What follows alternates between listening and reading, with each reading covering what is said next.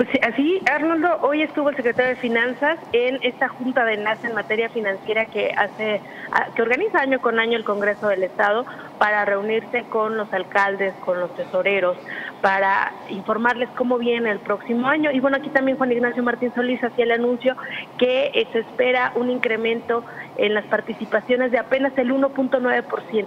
Entonces, en este sentido, hace un llamado. Inferior incluso pues, a la inflación, ¿no? Y bueno, pues, la inflación por lo regular anda entre el 3 y el 4%. En términos reales habría un decremento del presupuesto.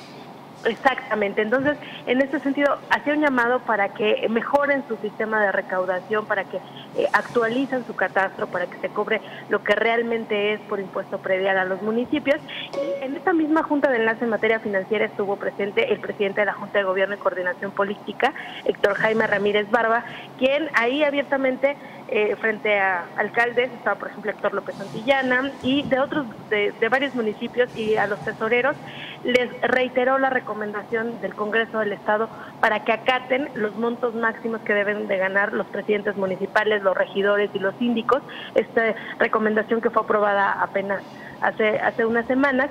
Y bueno, comentarte que también Héctor Jaime Ramírez Barba ahí lo hacía público y decía, 27 de los 46 municipios están ganando más de lo recomendado entonces, eh, por mencionarte algunos, por ejemplo, definitivamente Silao es el que eh, tiene el mayor Sí. ¿Se perdió Carmen? Se cortó la llamada con Carmen. Bueno, y faltaban. Ah, no, Carmen, te tenemos. Bueno. Sí, te escucho. Se perdía un poco la, tu voz, se perdió un poco la llamada, pero ya te escuchamos. Adelante. Te decía, eh, el, municipio que, más ha sobrepasado pues es Silao con el 88%. También hay otros casos como el de Abasolo, donde el, el alcalde gana 76% más de lo recomendado. En el caso de Acámbaro gana como el cuarenta y tantos por ciento más el alcalde, pero el síndico gana 106% más de lo recomendado por el legislativo. Pero este parece vamos a escuchar las palabras de el coordinador de la Junta de Gobierno, el presidente de la Junta de Gobierno y Coordinación Política, Héctor Jaime Ramírez Barba. Bien. Es que se tenga la sensibilidad de, de acatar las recomendaciones, porque además fue, fue una recomendación aprobadas por unanimidad de todos los partidos políticos que integramos el Congreso. Sería un desatino que los alcaldes emanados de los diferentes partidos políticos no atendieran las propias recomendaciones que sus propios legisladores aprobaron por unanimidad.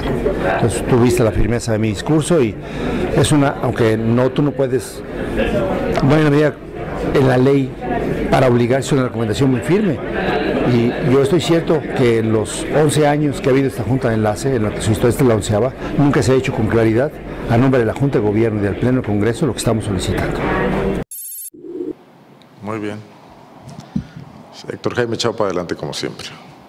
Así es, Arnoldo. Y bueno, finalmente, hablando de dinero y de presupuestos que ya